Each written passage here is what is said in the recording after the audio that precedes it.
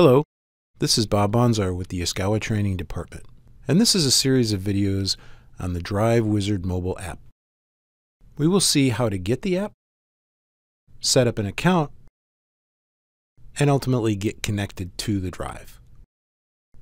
So let's begin by getting the app. Now utilizing the tablet that we have, we will see how to get the DriveWizard mobile app and install it right here on this device. First, let's go to yaskawa.com.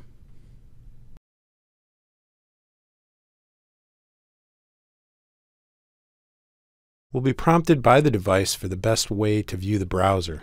In this case, if we simply rotate the device, it'll give us a wider screen to view. From the menu, select Products, then Drives, then Industrial Drives, than industrial software tools.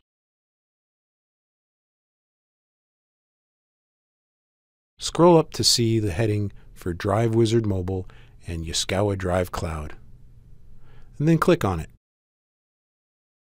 Now scroll up to see the choices for either Apple or an Android device.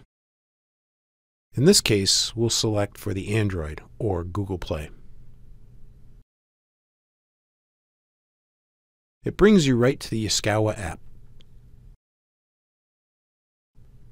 Select Install. Now that it's downloaded, click to open the app.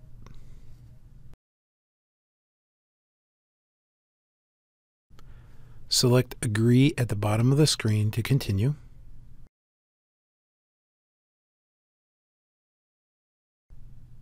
Now here we get a highlight of the screens that you'll see in the app.